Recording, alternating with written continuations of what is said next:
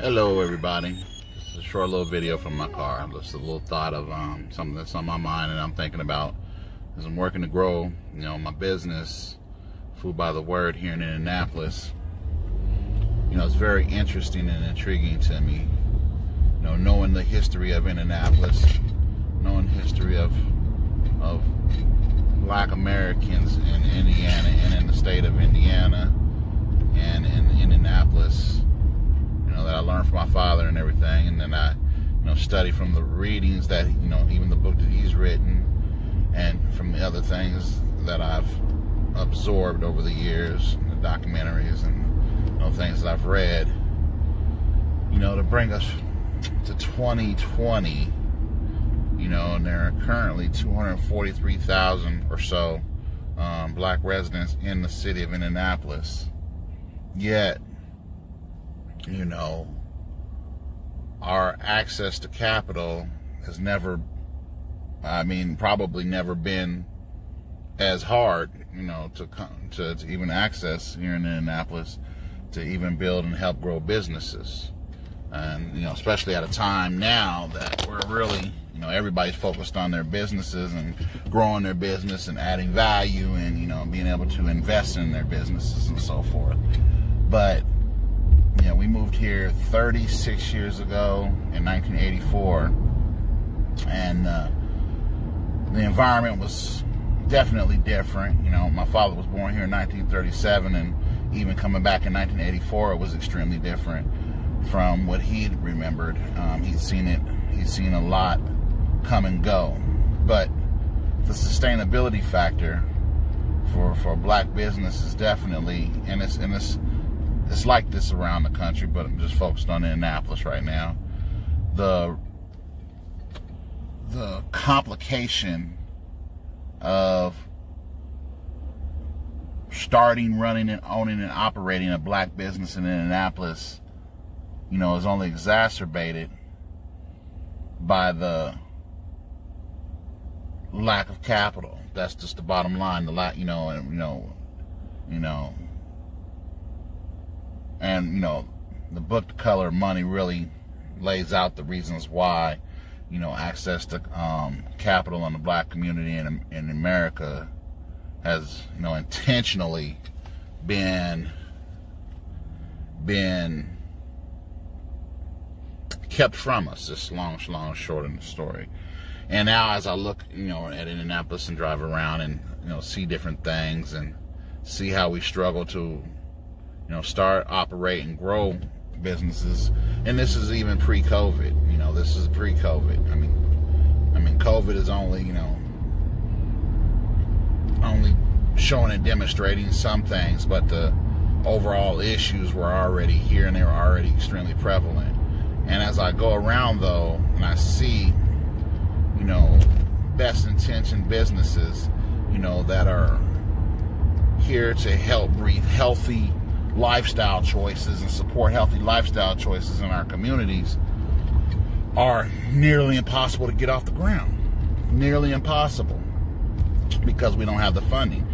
You know, and I look back into my own experiences, you know, in my early days, you know, you know, managing someone else's business and I look at the, you know, the, the, the particular brands and so forth.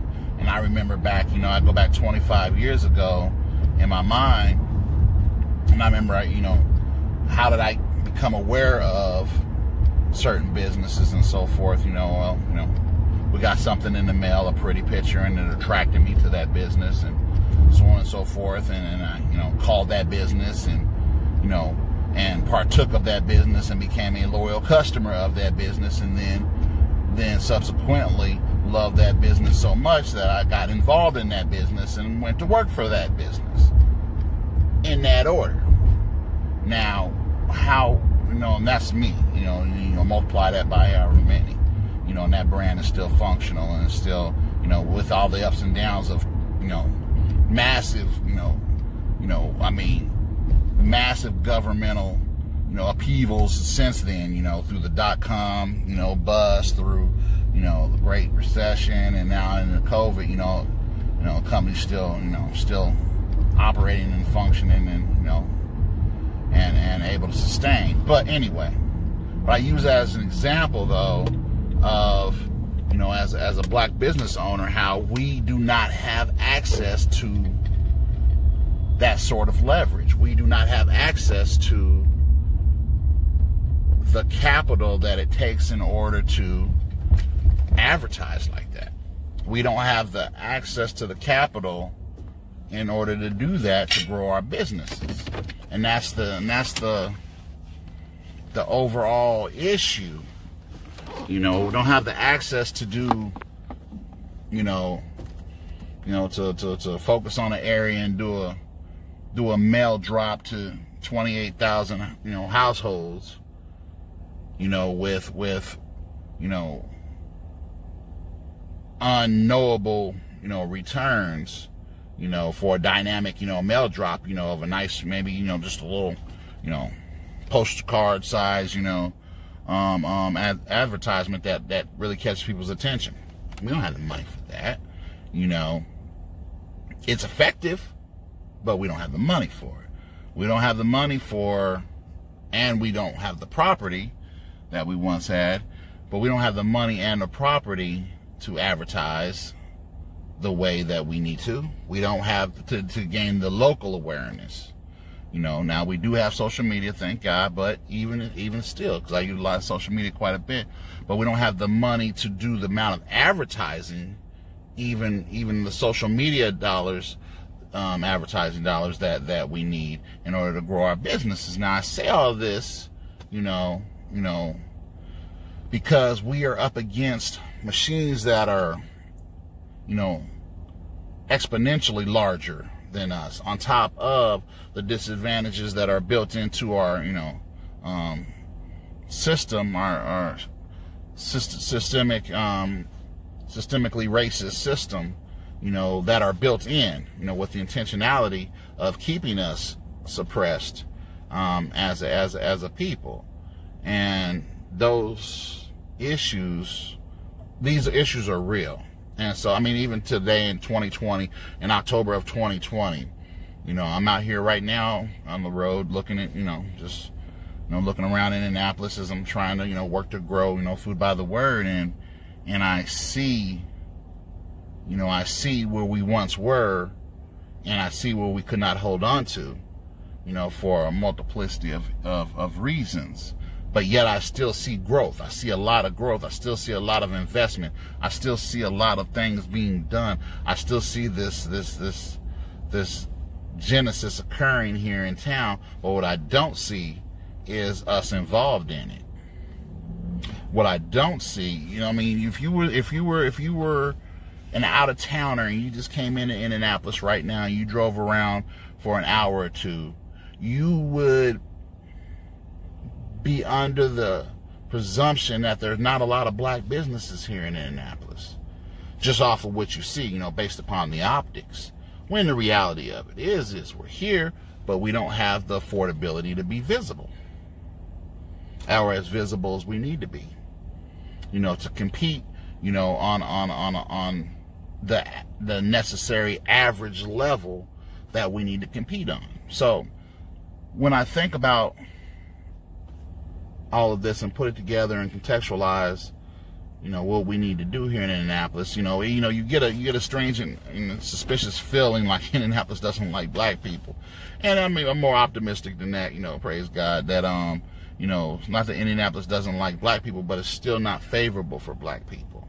It's not favorable for black businesses, and it has not been for quite a long time. You know, since since you know most black businesses were were regulated, legislated, and terrorized out of existence in Indianapolis. These are just facts. You know, these are just facts. You know, when you look through the history of Indianapolis, at one point there were more sections. There was a there was a there was a culture. There was a theme. There were you know it was it was noticeably you know um, you know a higher level of black engagement in the economy in Indianapolis. And that has been systematically drummed out, mainly and mostly. And so I say all that as, as I work to grow food by the word, you know, it's, it's, you know, where to get the footing, where to, you know, where to, you know, where's the niche, you know, who's the niche audience, you know, who, who, who do you, you know, who do you, who do you see as your, your, your, your, your market? You know, where's your market at? Well, you know, one thing for sure over the last four years, I've, I've realized a lot when it comes to Indianapolis and when it comes to, you know, being a, a, black man and a black business owner in Indianapolis, you know, there there there are a lot of things that are levied against us. But the reality of it is, is praise be to God, you know, that we have a, you know, through social media, you know, I'm able to get, you know, messages out, you know, and to, you know, speak to people that I normally wouldn't be able to come in contact with. So that is a blessing. You know, God is making the ways. You know, He's making the ways, you know, where man have blocked the ways, you know, and, and you know, and continue to block. And the one thing that 2020 is revealing is that a lot of people, a lot of people are feeling the press, you know, and they're they're getting anxious, and so there, you know, there are coalitions that are, you know, strengthening and developing, you know, from a business stand from business standpoints to, you know, continue to um, insulate, you know, a lot of folks. And you know, as far as you know, you know, the black community in Annapolis, you know, these coalitions are extremely underfunded and they're they're very few. And they're they're you know we're lacking a voice. We're extremely lacking voice. You know we need voice. We need strong voice. We don't need just opinionated you know um, um, you know walking around you know just giving you know you know I think this and I think that's no we need application we need active participation you know we need you know to you know, lower our noses a bit and, and, and, and not aspire to, you know, for, you know, to be, you know, amongst those that are, that walk in hubris, you know, we need to, you know, we need to walk in humility as God has called us to, but we also need to walk, you know, and with the intelligence that he's, he's, he's bestowed upon us and, and, and with the strength, you know, in our backbone that, you know, we're walking in his favor. That's what we have to do. We cannot you know, just acquiesce to what's been done and what's normal. But let me even touch on that a little bit. You know, everybody's interested in getting back to the, you know, normal. But here's the thing, and I'm gonna be honest. I normal was never good for black America. Normal was never good for me. You know, I am very not interested in normal. Um, normal is is not a good place. You know, if you're out here walking out your faith and trying to grow and build legacy for your family, especially in the black community, normal is a very bad place to be. Matter of fact, we need to never go back to normal again, and we need to make sure we go forward, you know, in the Lord and really go towards, you know, what He's planned for us and not what man has made for us. So I'm not interested in normal. And normal is a, normal is a very dangerous place for us right now. If we go to normal, if we're striving for normal, we are striving towards dangerous waters. Instead of swimming toward the shore, we're swimming further out into the ocean and expecting and expecting the results of the safety and security of the shore. So, you know, it's not about a return to normal, you know, and we have to make sure that we understand and this is where we have to educate ourselves to what was normal.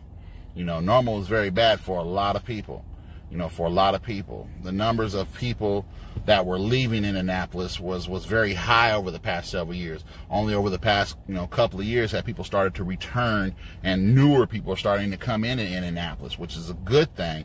But we have to look at, you know, culture. We have to look at we have to look at the fact that, you know, it has to be a safe dwelling. You know, Indianapolis is not a safe place for a black man. It's not.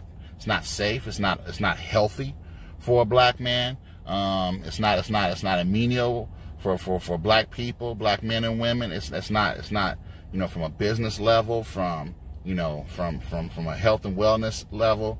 It's not. You know, it's not. And like I say, the same could be said for every major metropolitan city in the country, but I'm just focused on Indianapolis. But that's my little you know, two cents on that. Um, I just really want to, you know, we have to keep on top of mind that being a black business owner in Indianapolis is, is more of a struggle because we have systemically built in throughout our entire economic system oppressive um, oppressive um, regulations, rules, you know, what, you know, what, you know, what have you, that systematically keep us from access to capital and which, you know, keep us in a position of being extremely underfunded. Extremely underfunded. You cannot have and or grow a business without funding. I don't care how great the idea is. I don't care how awesome the food is. I don't care how awesome the product is. If you do not have money to invest and grow your business, your business cannot grow and your business cannot thrive. I don't care how awesome the concept is. So, and this is this is the issue that we're faced with. You know, this is the issue that we're faced with. You know, I know those that even have the attention and awareness and can't grow their business.